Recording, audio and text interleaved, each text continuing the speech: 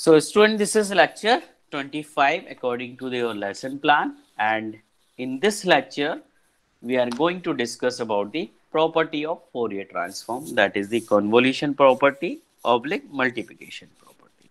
Okay. So as I told you in previous class the advantage of Fourier transform of this Fourier transform in the this subject or in this domain is you no need to uh, take the convolution of two function. Okay? If we have x1t if you have x2t and if you want to convolve them so in time domain you have to do the apply the property of convolution. But in frequency domain in Fourier transform just take the Fourier transform first one and the Fourier transform second one then just multiply. Okay? So according to definition you can write it down this. If you have x1t so Fourier transform of this function will be x1 omega. And if you have x2t another function and the Fourier transform of this function is x2 omega for in frequency domain now, if you want to convolve these two, x1t convolution with x2t, so that will be in x1 omega multiply with x2 omega. And that is the benefit of the Fourier transform. You no need to apply the convolution property over here.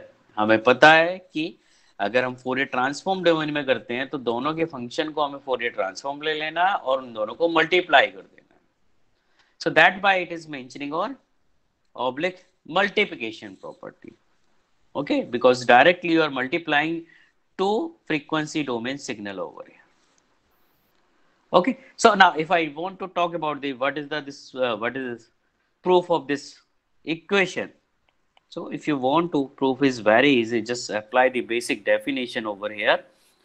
So if you want to calculate the Fourier transform of this x1t convolution with x2t.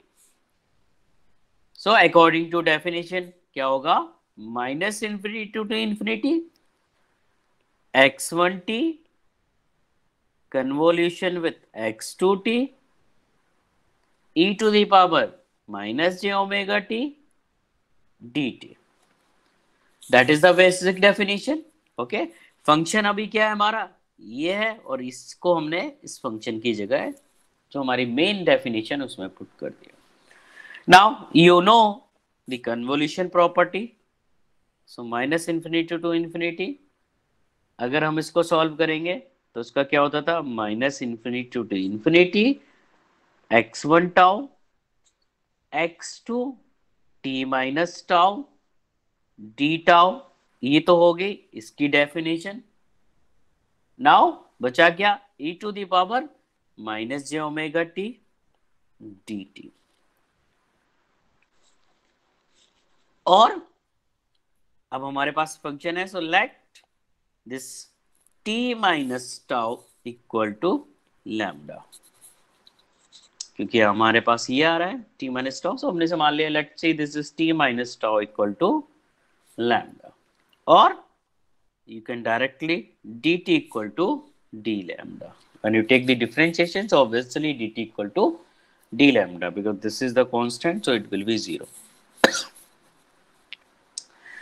now put this value in this equation so minus infinity to infinity minus infinity to infinity x1 tau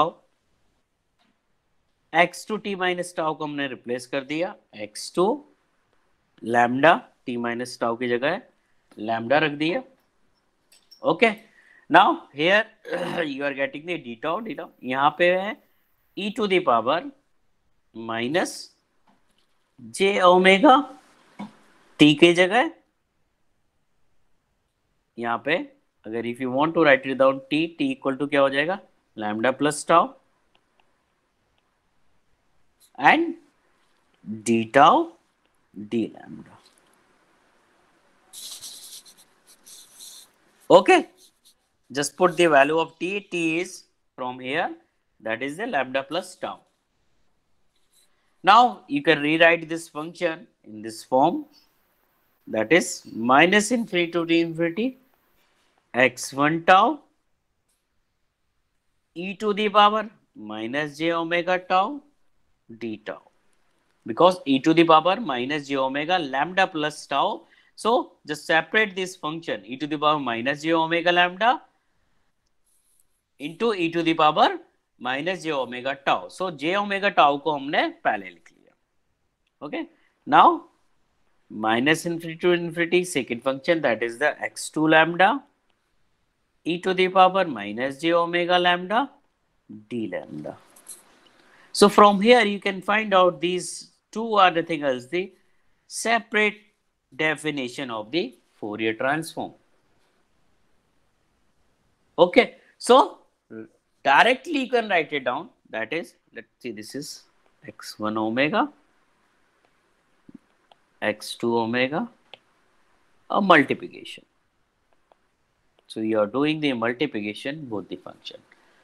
Okay this is the generalized definition of the Fourier transform same here in the terms of lambda so you have two function x1 x2 directly you are multiplying so the convolution property in the Fourier transform is nothing else the multiplication of the both frequency domain signal. Sorry.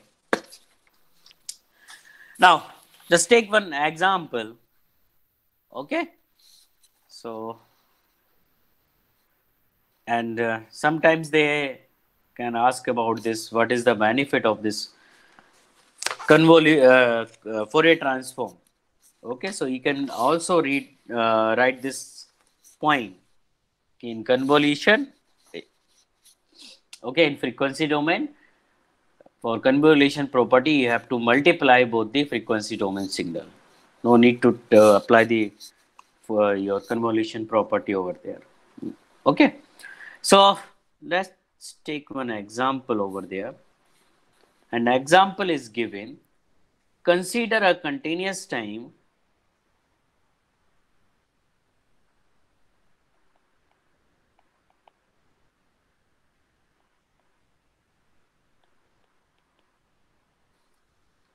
LTI system.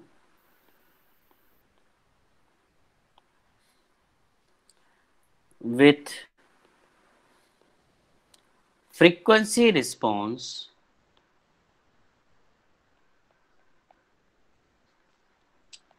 H omega equal to 1 upon 3 plus j omega. And yt equal to given e to the power minus 3t ut minus e to the power minus 4t ut calculate xt okay.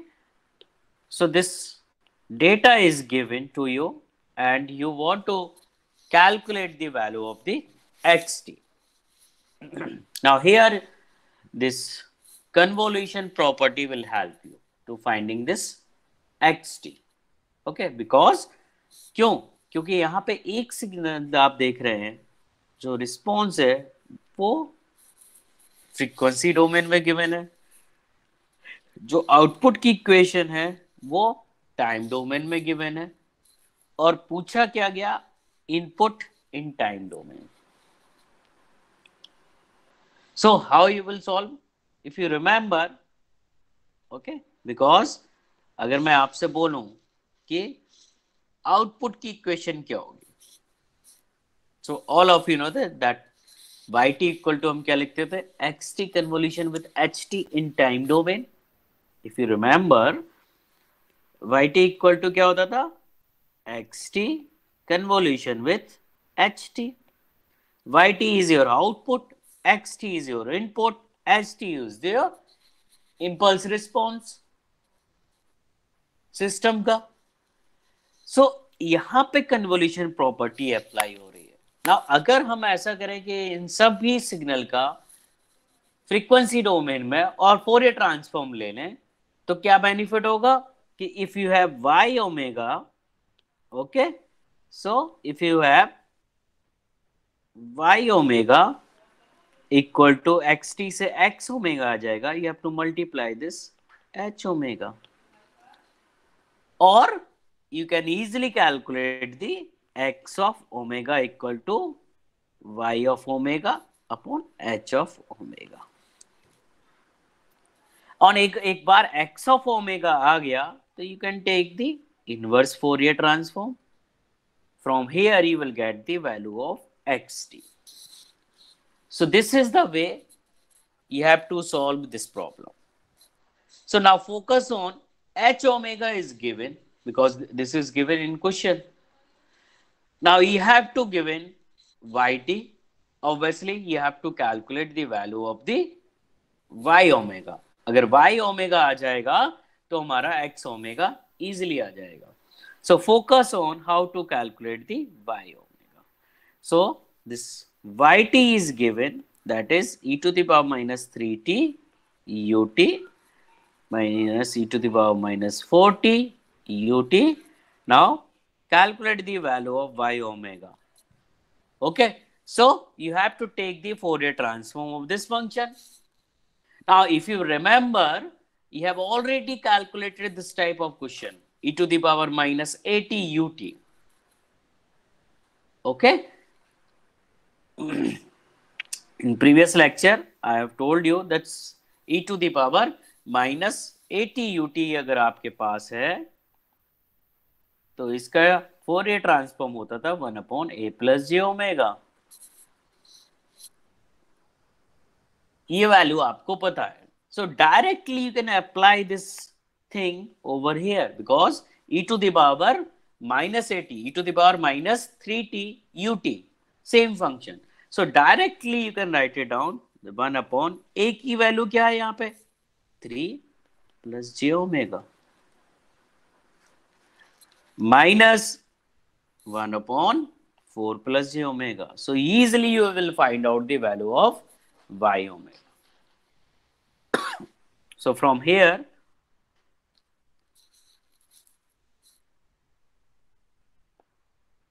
you will get the value of y omega. Solve this function. 1 upon 3 plus j omega. 4 plus j omega. So y omega अब हमें पता चल गया Now agar y omega pata chal gaya we can easily calculate the value of x omega. So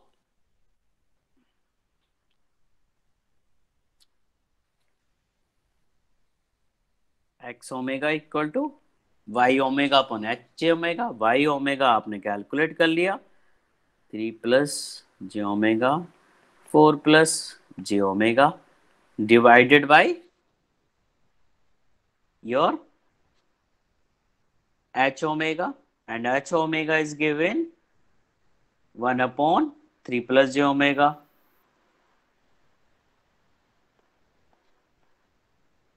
So from here, these two term will cancel out and directly you will get the 1 upon 4 plus j omega. sorry. So x omega equal to 1 upon 4 plus j omega.